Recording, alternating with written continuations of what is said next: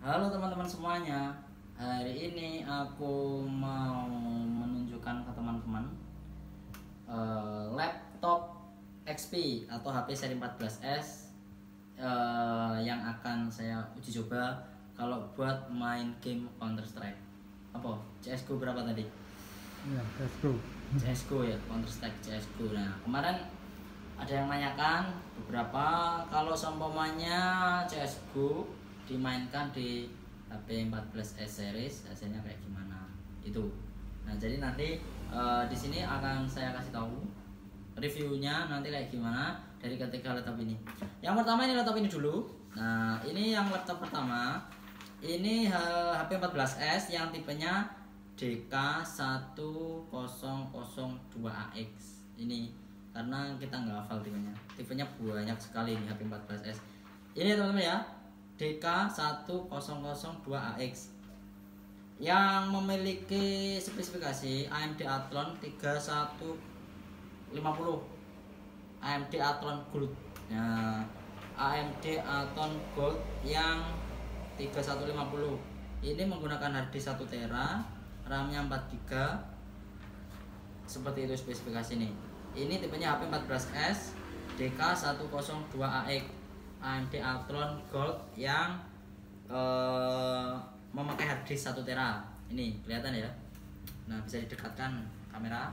Nah ini. Terus yang selanjutnya ini yang nomor 2 oke yang nomor 2 ini HP 14S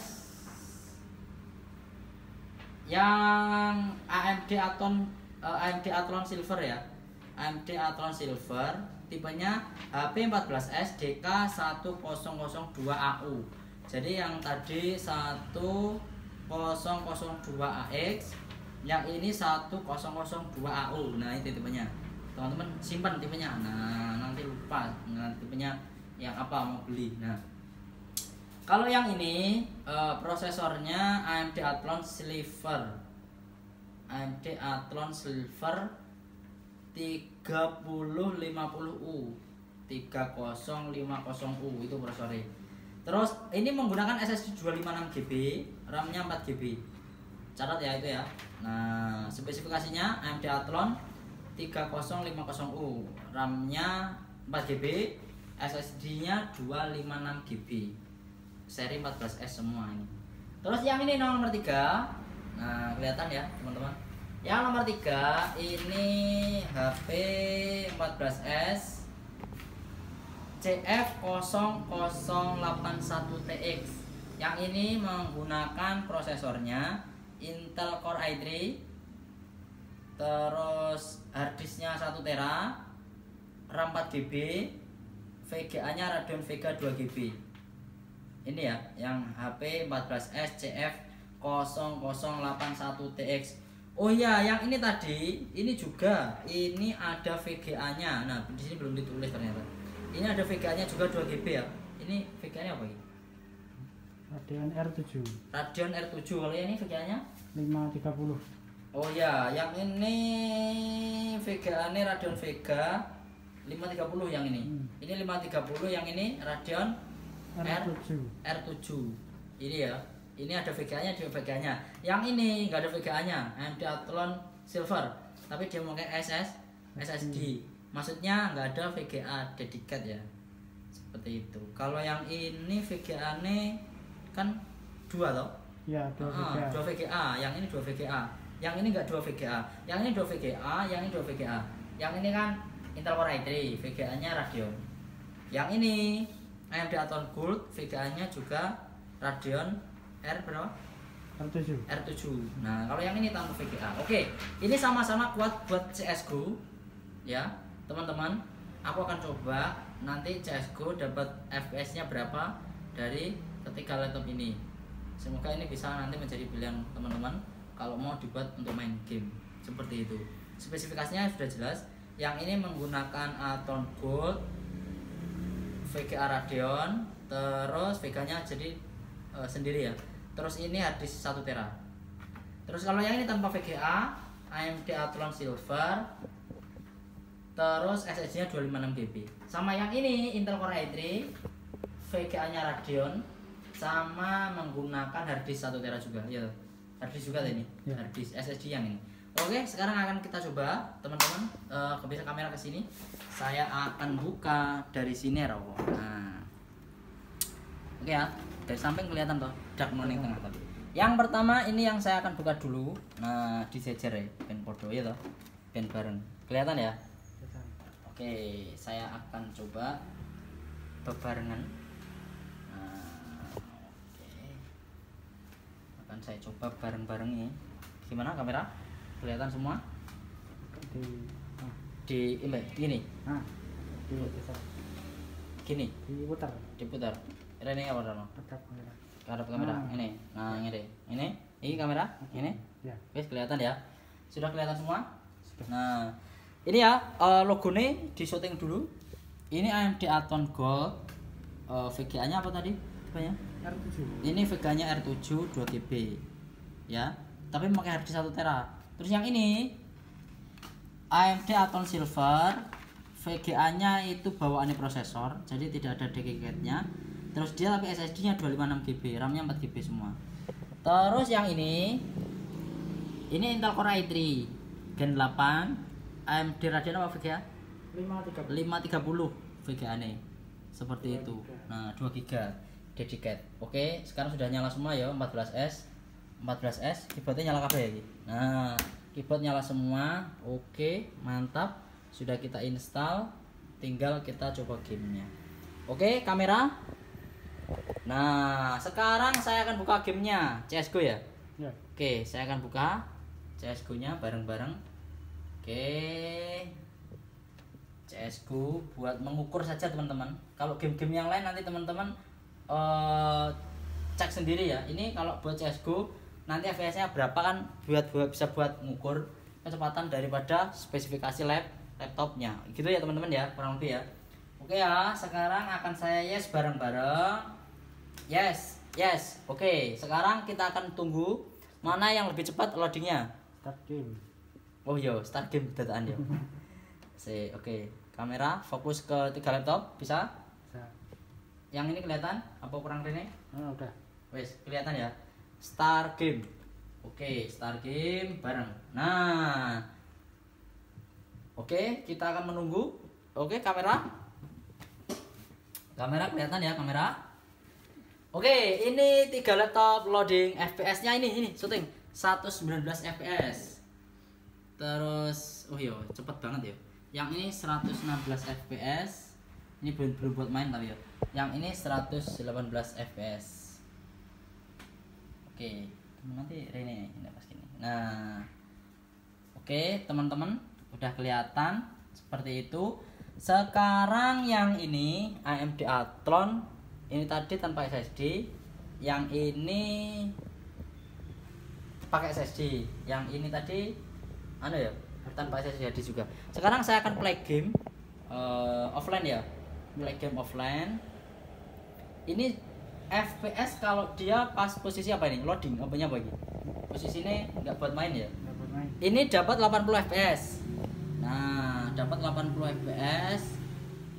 Itu ya kelihatan. Terus kalau yang ini 115 fps yang SSD.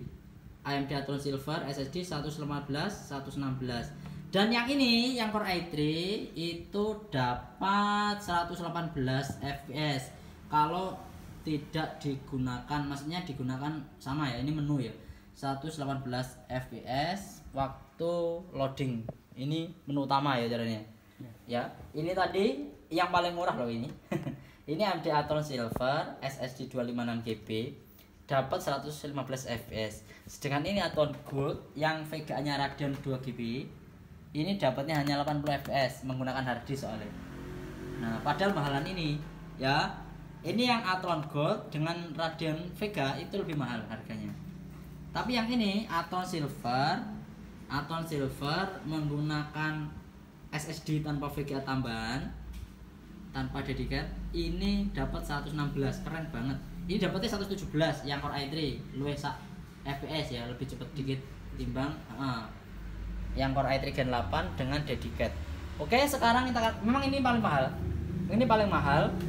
Ini tengah-tengah ini yang eh, paling murah. Kalau di sini ini harganya tak kasih tahu sekalian.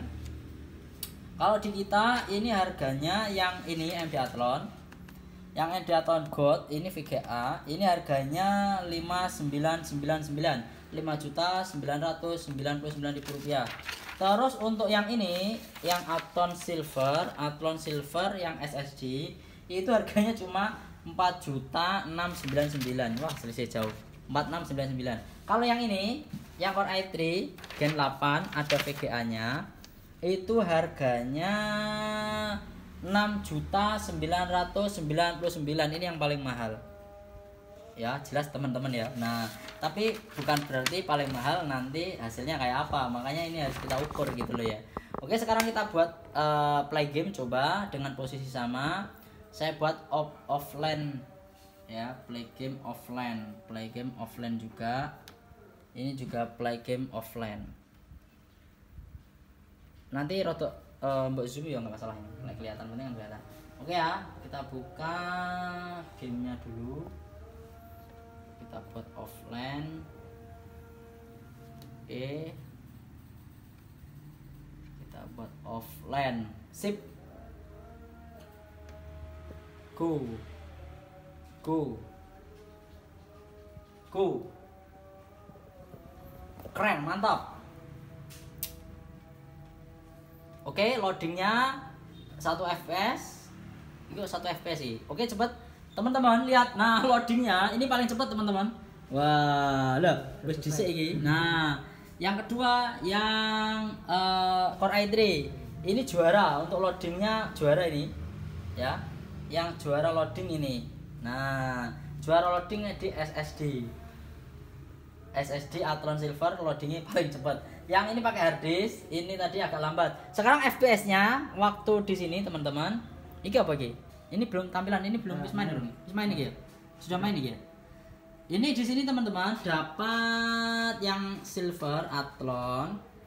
Athlon silver itu dapat 85 fps 85 fps yang ini ini kok mandikan yang gini? Ini memang bener yang ini ini dapat 78 fps 75 76 77 78 fps jadi ini sama ini mengimbang iya toh ini 79 juga ini 77 76 Ah, ini hampir sama ya spesifikasinya ya. Yang ini masih loading.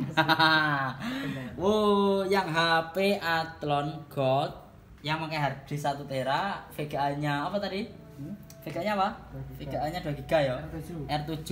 Ini masih loading. Yang lain sudah main ini masih loading ya. Ketinggalan. Yang ketinggalan. Nah, ini 85 fps, ini 80 fps. Ini FPS-nya, ini dapat yang Athlon 89 92 ya. Yang ini juga sama 80-an 80 90-an bagus ini. Nah kalau yang ini dapat berapa fps ini? Bu 26 fps 31 fps wah rendah fps ya nah tidak tidak layak konsumsi ini. Ini ya yang disayangkan daripada AMD Athlon Gold yang Radeon Graphic Athlon Gold yang double VGA Nah, tapi kalau diganti SSD mungkin beda teman-teman ya. Hmm. Karena ini mungkin hard disk. Nah, tapi ya itu tadi, secara ini kita tidak mengubah apa pun, tidak mengupgrade apa pun, ini semua bawaan daripada uh, daripada laptop ini kok melaku dewe Ya, mati. Hah? Temannya yang jalan. Oh, gitu ya. Lagi orang main nih. Belum mati. Uh -huh.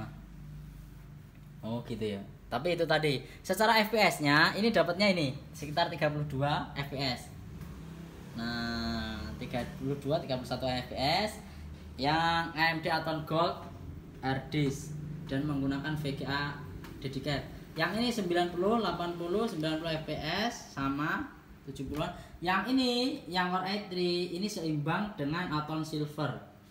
Oh, 82 80 82, 83, 84, 90-an. Ini seimbang, kurang lebih sama. Pokoknya kurang lebih sama ini. Selisihnya mungkin 1 sampai 2 fps. Tapi yang ini jauh banget. wow, di sini kan jadi kelihatan tuh teman-teman. Nah, ya kan? Jadi kelihatan kan mana yang spesifikasinya ke keren, mana yang standar aja. Seperti itu. Oke ya, itu kesimpulannya. Jadi ini cuman kita buat ngetes di game. Nah, untuk mengukur FPS karena buat teman-teman gaming mesti yang diukur cuma itu. Kalau FPS-nya dapatnya tinggi ya wis lah nggak bisa dipungkiri bahwa itu nanti spesifikasi laptopnya cepat. Nah buat main game eh enak. Jadi nggak bisa bohong.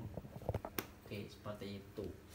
Oke itu teman-teman eh, video kita hari ini yang kita tampilkan daripada eh, laptop HP 14s series. Seperti itu ya.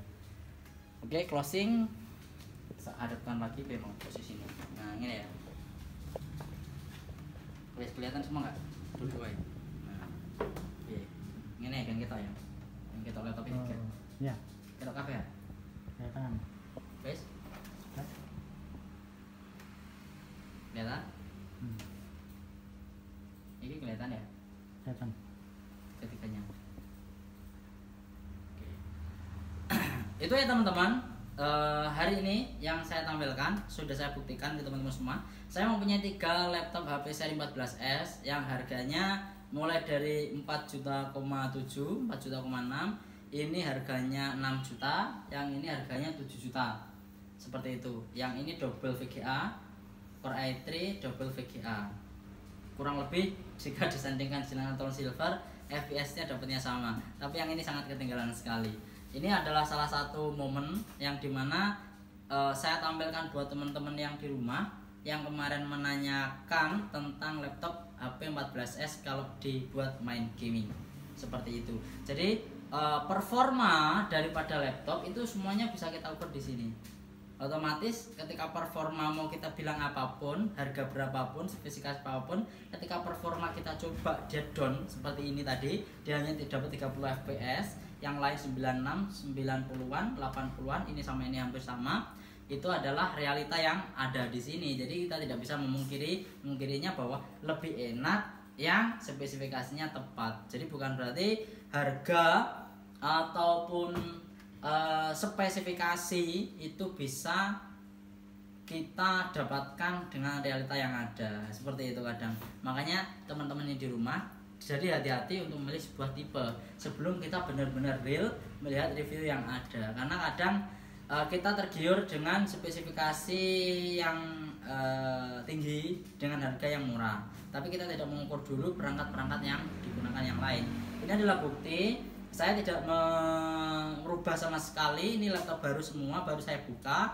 Tiga laptop tersebut saya gunakan untuk Counter Strike CSGO tadi teman-teman nanti eh, bisa nyoba juga untuk game-game yang lain seperti itu jadi kita sudah menampilkan satu game untuk game-game yang lain nanti teman-teman bisa ukur sendiri ini bisa buat main game apa saja Eh, itulah yang ada jadi daripada ketiga laptop ini yang ini Atom Gold dengan double VGA 2 GB.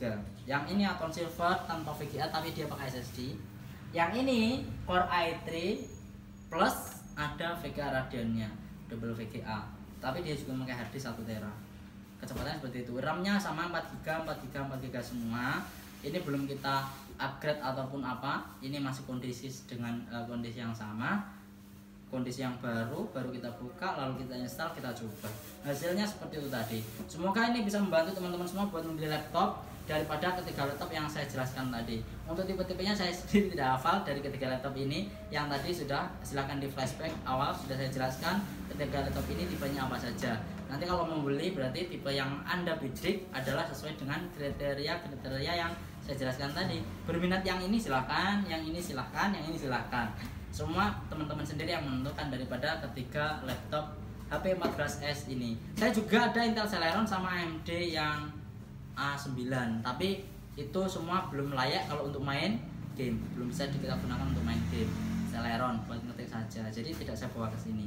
Yang saya bawa ke sini adalah versi yang sudah support Counter Strike salah satunya yang eh, siap diuji coba untuk bermain. Oke, teman-teman seperti itu. Terima kasih yang sudah menonton.